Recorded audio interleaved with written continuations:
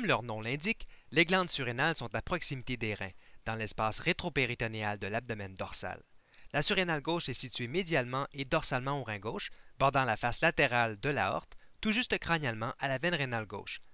Ventralement, la surrénale gauche est imprégnée de la veine phrénico-abdominale gauche qui la divise en deux lobes.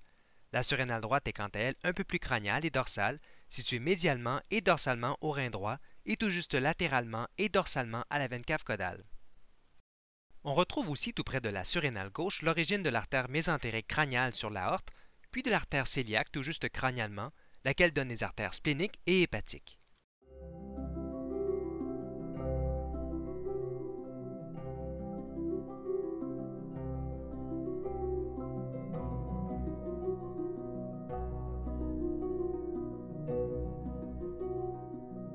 En vue dorsale, on remarque bien la relation anatomique entre les surrénales et les vaisseaux avoisinants, soit l'aorte, la veine cave caudale, puis les artères et veines rénales.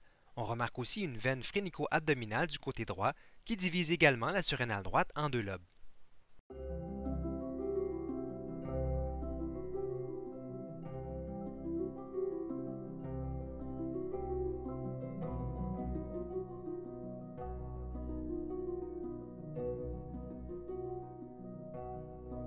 La reconnaissance des structures vasculaires à proximité de chaque surrénale garantira leur identification.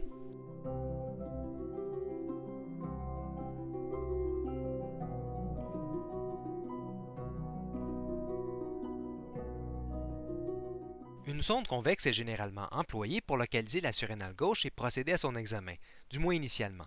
Le mode Doppler peut faciliter la reconnaissance de la vascularisation régionale au rein gauche, facilitant du même coup l'identification de la glande surrénale. À partir d'un plan longitudinal du rein gauche, la veine rénale est d'abord identifiée, puis suivie jusqu'à ce qu'elle glisse ventralement à l'aorte pour rejoindre la veine cave caudale. Remarquez aussi la plus petite artère rénale gauche qui prend origine de l'aorte. Ce plan longitudinal où la sonde est dirigée de façon oblique vers la région centro-dorsale de l'abdomen permet d'identifier l'aorte sur un même plan que la veine rénale gauche et de l'artère qui la suit, puis de retrouver la surrénale qui se trouve tout juste crânialement à ces deux derniers vaisseaux. Remarquez par ailleurs le petit vaisseau phrénico-abdominal qui longe la surface ventrale de la surrénale, de même que les artères cœliaques et mésentriques crâniales qui sortent de la tout près de la position de cette surrénale.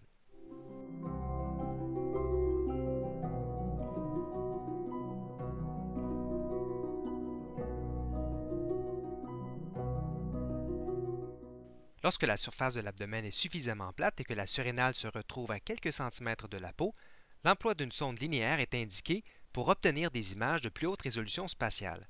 Depuis un plan longitudinal du rein, les artères et veines rénales sont suivies en glissant la sonde médialement en direction de l'aorte. Remarquez ici la forme caractéristique de la surrénale gauche, soit celle d'une cacahuète plus ou moins aplatie, et son écogénicité très faible, se rapprochant de celle des vaisseaux. En cas de doute, l'emploi du Doppler couleur permet de différencier cette structure d'une lumière vasculaire. La médula peut aussi apparaître un peu plus écogène, ce qui peut faciliter son identification.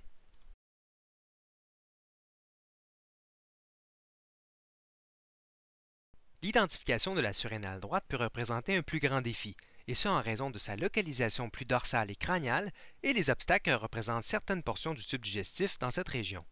Depuis le rein droit en plan longitudinal, examiné de façon oblique en orientant la sonde crânialement Derrière l'arche costale, la sonde est tournée doucement vers un plan presque dorsal pour localiser la veine cave caudale et la horte.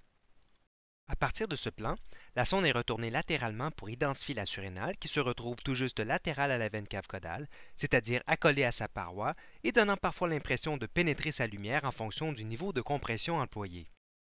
Un léger mouvement latéromédial sera souvent nécessaire pour localiser cette surrénale.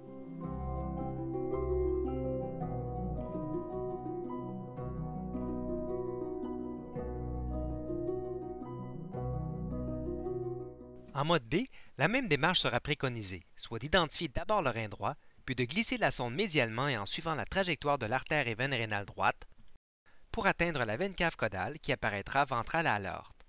La sera aussi distinguée de la veine cave en raison de sa pulsation évidente. Les matières fécales comprises dans le côlon ascendant et transverse seront la source d'ombrage acoustique et de réverbération, limitant parfois l'examen.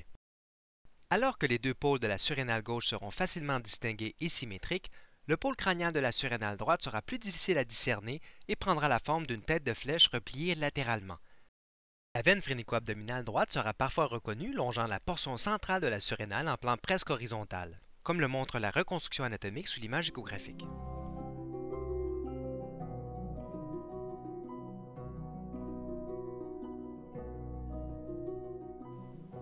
Comme vu lors de ces clips vidéo, la forme de la glande surrénale variera en fonction de son côté mais aussi entre les animaux. Elle sera par exemple plus aplatie chez les gros chiens et plus arrondie chez les petits chiens et particulièrement chez le chat.